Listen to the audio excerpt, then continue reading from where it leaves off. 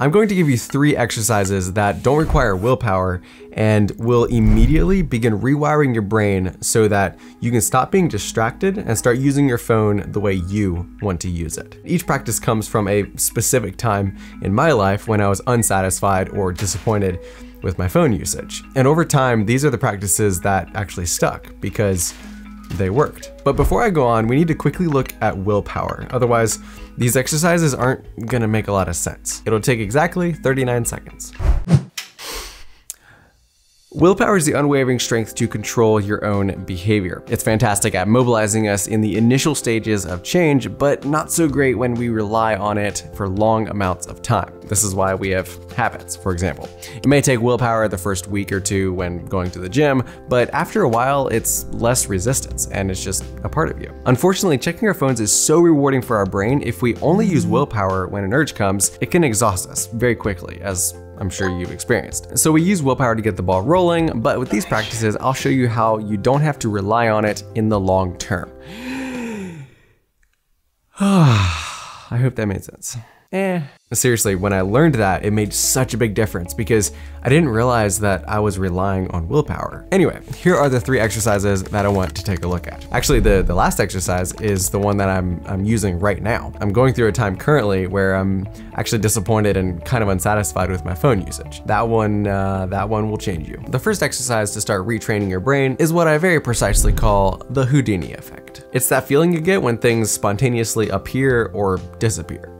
We get bored and then realize that's why our phone magically Houdini'd its way into our hand. We sit on the couch and the TV turns on. And then we notice that we're holding the remote. This happens because we go through life on autopilot, being slowly hypnotized by the mundane. Our first step then is to make sure that our phone does not spontaneously appear into our hand. Here was my unconventional, possibly bizarre method of dealing with this. Instead of carrying my phone in my right pocket, I carried it in my left, and I bought a phone-sized pocket pocket notebook and pen, and I put that where my phone used to be. And then for good measure, I removed all of the apps from my home screen. So if I wanted to open something, I had to actually search for it. You psycho. Now, what do you think happened like 20 times a day? I was snapped out of that hypnotic autopilot because I'd reach for my phone without even thinking and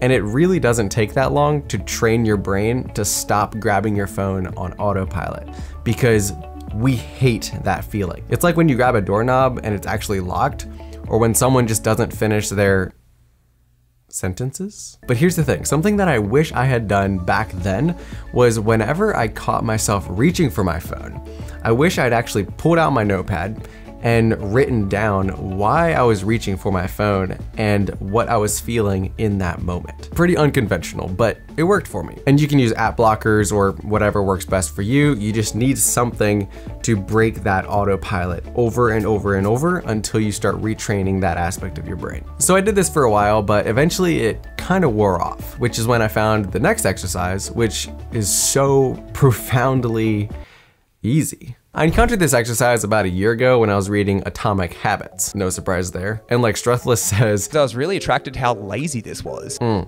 right there with you, buddy. This exercise is probably one of the most effective and also the most simple. All you have to do is remove your phone from your environments. Yeah. Seriously, just, just try this exercise for an hour, okay? Turn your phone off completely, leave it behind, and go to a coffee shop and read or do some work. And something amazing will happen the second you leave the house. Because your brain knows that there's not even an opportunity of being distracted by your phone, which for most people is their number one distraction day to day. What you're doing is you're training your brain to make that switch from constantly expecting and, and having an ear open for your phone to not even having the possibility and redirecting all of that energy on something better. And by the way, this idea of eliminating from our environment can be applied to a lot of other things as well. And it's actually one of the three points in my last video, which talks about taking back control of our lives uh, with something I kind of call the environmental detox. Okay, so we've covered the, the first two, which is the Houdini effect and edit the environment. But here's what might surprise you. Like these are really good at creating margin between you and, and your phone usage. But if you want to actually rip this behavior out by the roots and legitimately unlearn it, then this last exercise, which is what I'm currently using, I'm, I'm currently in this, is exactly what you need. This is a science-backed researched exercise that was so much more than I ever imagined. So let me explain what this is and how it works. The inverted Pavlov effect. You've heard of Pavlov's dogs, right? Where he would he would ring a bell and then give the dogs food, ring the bell, give them food over and over and over and over until the dogs associated the sound of the bell with the food. They would respond automatically by salivating when they heard the bell, even if they couldn't see or smell the food. It's like us when, when we get bored and then we check our phone and it's like, oh, this is entertaining, okay? And then the next time we get bored, check our phone. Okay, bored, check our phone. You have the emotion, which is kind of like the bell for them, of boredom, which means phone. But what most people don't know about this study is he also studied how to undo that conditioned response, which is like, you know, kind of a big deal because formula for unlearning unwanted habitual behavior, uh, yes, please. And the way he did this was really simple. He would ring the bell, but didn't give them anything. And at first the dogs still responded the exact same. They didn't like it, obviously. But after a bit, they unlearned that association. So when they heard the bell, nothing happened. So what this means is if you have a habit of unwanted behavior, say phone usage, you can unlearn it. And it's not even that hard once you understand this exercise. And it's not with willpower where you grit your teeth and oh, just, just don't give in, just don't give in.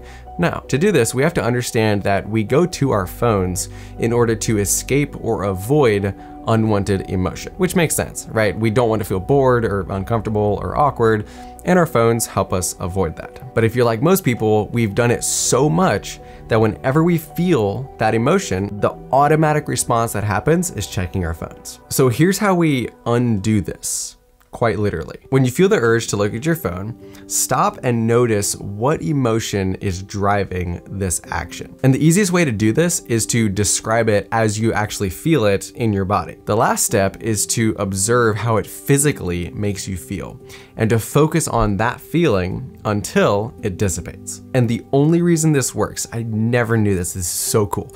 The reason this works is the lifespan of an urge or any emotion for that matter which is just wild when you think about it.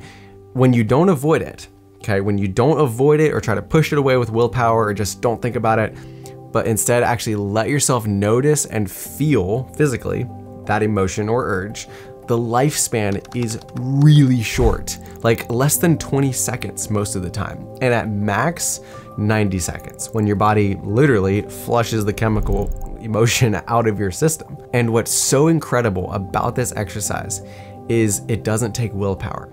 So it's not exhausting because you're not trying to push it away. You're not trying to not think about it. Just just don't think about it. And maybe even more incredibly, every single time you do this, back to Pavlov's dogs, you are literally unlearning that behavior. The very first time I did this, I, I, stopped myself when I felt the urge and I allowed myself to actually feel that unwanted emotion physically and, and notice it.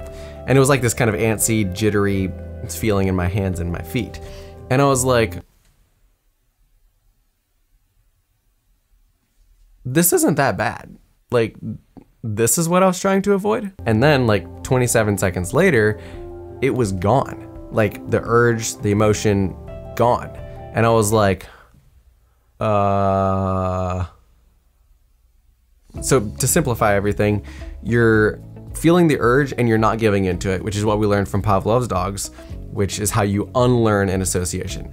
And so within that, it's like, okay, how do we deal with these urges? And that's the second part, which is the allowing yourself to actually feel it physically and let it dissipate. This was so impactful for me because we do these behaviors that we are ashamed of and that disappoint us, all because we are trying to physically avoid feeling that unwanted emotion. And then you like go do it and you're like, this isn't even that bad. Like, I can I can sit with this for 30 seconds. I mean, yeah, it's a little uncomfortable, but it's nothing compared to falling asleep and dropping your phone on your face and then you realize that you wasted 3 hours of your precious life on TikTok. Like, trust me, that, that's a way worse feeling than 30 seconds of discomfort over here. And if you want a whole book on this exercise and how it works with like 40 years worth of research, I would recommend 90 Seconds to the Life You Love. It's like really good. So links down below. This book is gonna go in the top three probably of books this entire year.